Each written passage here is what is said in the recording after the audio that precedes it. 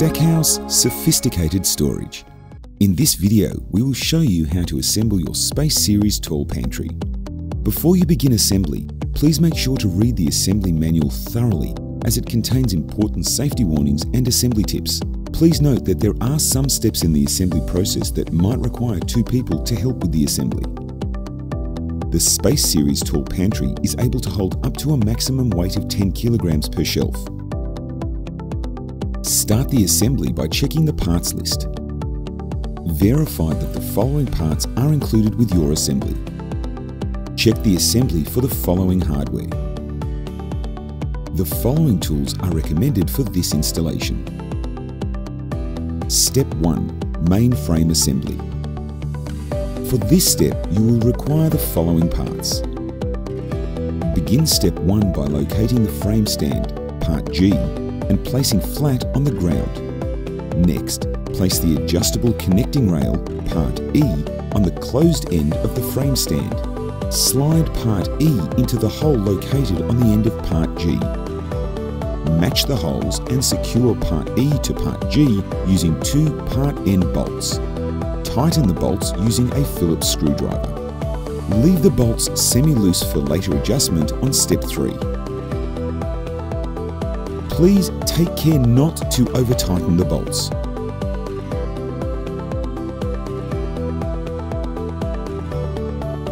Next, locate the lower connecting rail part F. Lining up the holes on the inner frame and sides of the bottom section of part G, slide the part F rail to the bottom of part G as shown. Secure part F to part G using 6 part R bolts and 4 part V washers.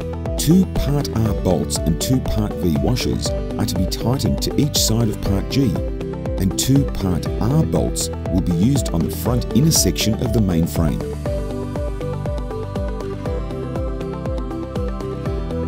Tighten the bolts using the provided K5 Allen key part T.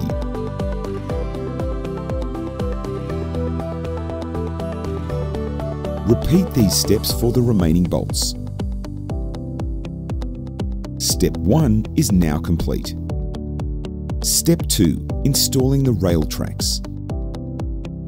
For this step, you will require the following parts. Two people will be needed for this step. There are different size models available. Depending on the height of your cabinet, please see the corresponding dimensions as instructed in the manual. Begin step 2 by locating the upper rail track part A and the large guide rail track part C. Part A will be placed in the centre of the inner cabinet rooftop with a spacing of approximately 74mm from the open cabinet end. Please reference the correct number of millimetres from the edges as shown. Slide the track out of the way and secure part A to the cabinet using four part L screws. Tighten the screws using a power drill with a Phillips head drill bit. With the assistance of another person, ensure that part A remains intact and in place as it is being secured to prevent misalignment. Take care not to over-tighten the screws.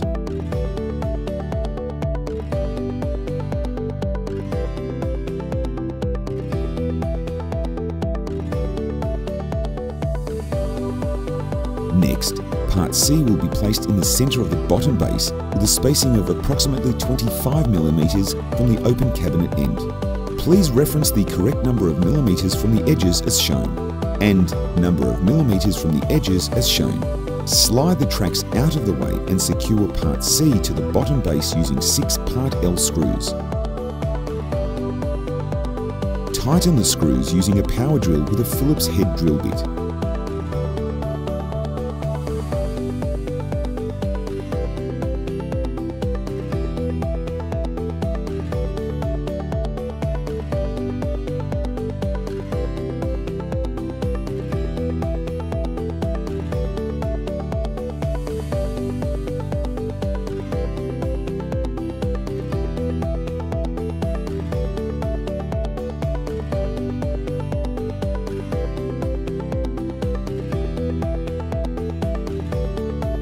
Step 2 is now complete. Step 3. Attaching the main frame assembly. For this step, you will require the following parts. You will require the assistance of another for this step. Begin step 3 by locating the mainframe assembly and lining up the assembly with the bottom large guide rail track, part C. With the assistance of another person holding the mainframe assembly straight up, align the mainframe assembly with part C so that the bottom section of the assembly fits in with the middle section of part C as shown. Secure the mainframe assembly to part C using two part O bolts and one part P hexagonal insert. Tighten the bolts and the part P insert using the provided K4 Allen key part S.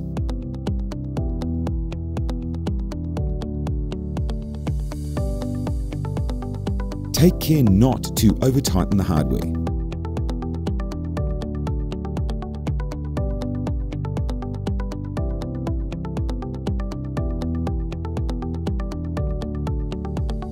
Next, loosen the bolts on the top section of the mainframe assembly and raise the top section of the assembly so that the sufficient height is necessary to attach to the Part A rails as shown.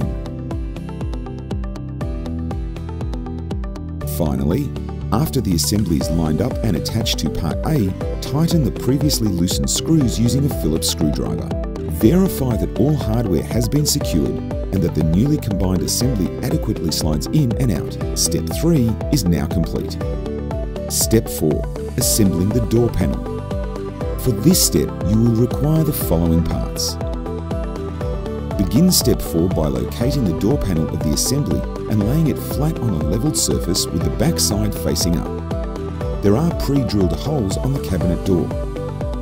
Matching the three centre holes of the door, attach three Part U door panel plastic brackets to the cabinet door.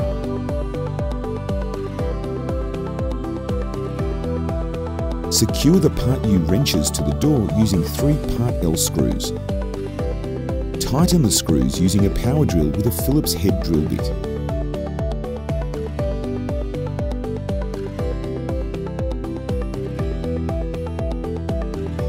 Repeat these steps for the remaining screws.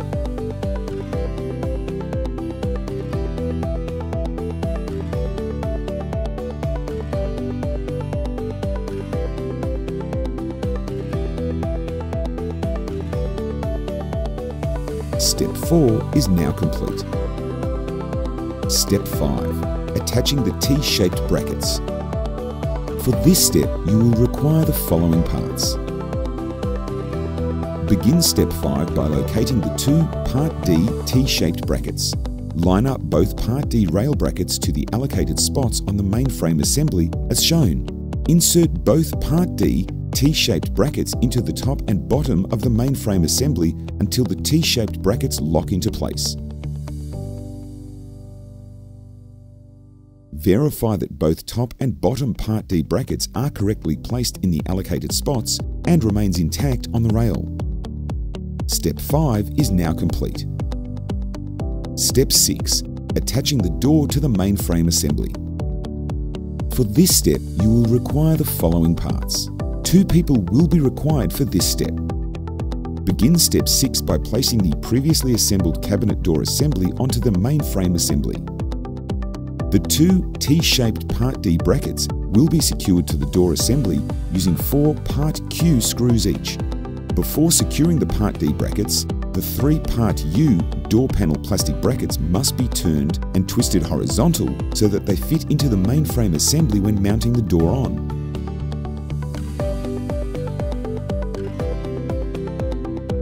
With the help of another person, push the door panel into place and keep the cabinet door steady. Proceed by securing both T-shaped Part D brackets using four Part Q screws each. Tighten the screws using a power drill with a Phillips head drill bit.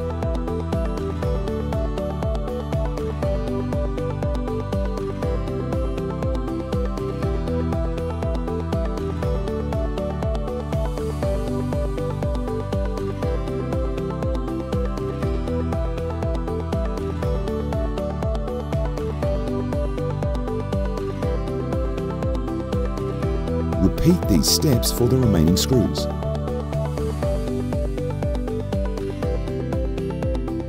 Step 6 is now complete. Step 7. attaching the bottom frame cover. For this step, you will require the following parts. Begin step 7 by locating the Part B low frame cover. Place Part B over the lower rail, slide it and lock it into place. Secure Part B to the lower rail using one Part M screw. Tighten the bolts using a Phillips screwdriver.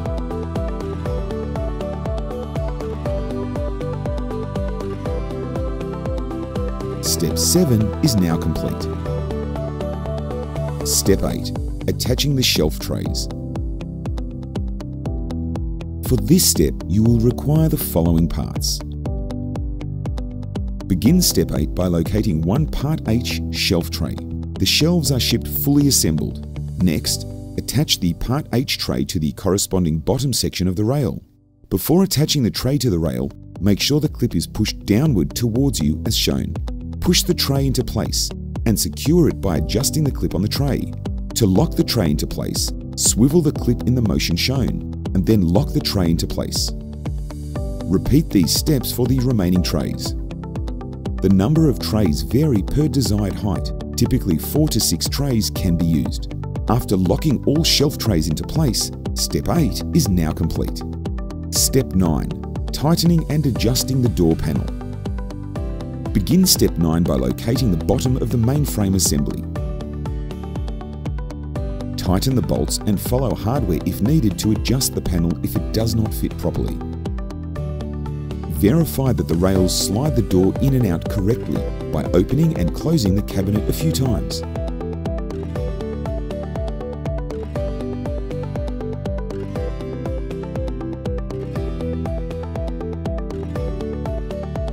Congratulations! You have completed the assembly of the Space Series Tall Pantry. Before using your new pantry, verify that all hardware is intact and that the rails slide forward and retract without issue in accordance with the owner's manual. Enjoy your new Space Series Tall Pantry.